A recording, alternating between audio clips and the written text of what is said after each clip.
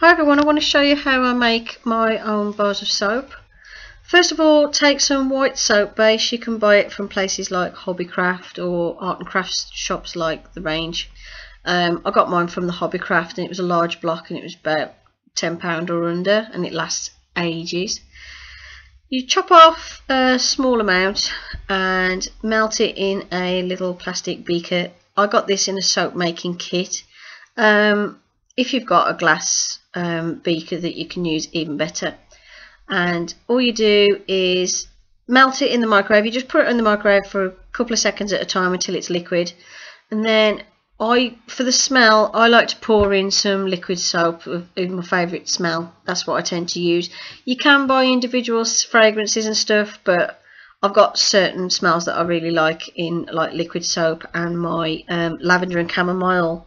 It's like a baby baby bath um, liquid, but I use it as shower gel, so I tend to use that to make my own soap smell.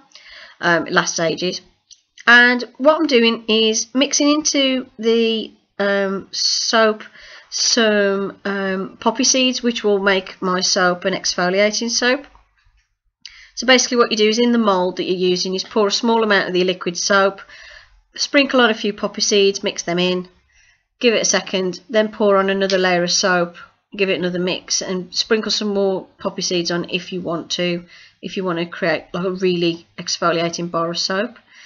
In the bowl now I'm making a larger batch of soap with my favourite lavender and chamomile smell which is the Johnson's baby bath. I use that and I use the bowl so I can make larger pieces of soap. So once it's you leave it to set at room temperature and while it's still soft so I, as you can see I can press the sides in it's easier to cut up while it's soft. So I'm chopping it into the pieces the size that I want to use.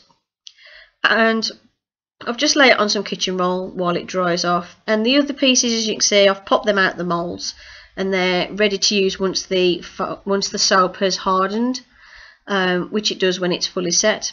And as you can see it foams up really nice washes really nice and it, it makes a really good exfoliating soap when you use the poppy seeds um, so that's it Hope you enjoyed the video. Thank you for watching and I'll see you in the next one. Bye for now.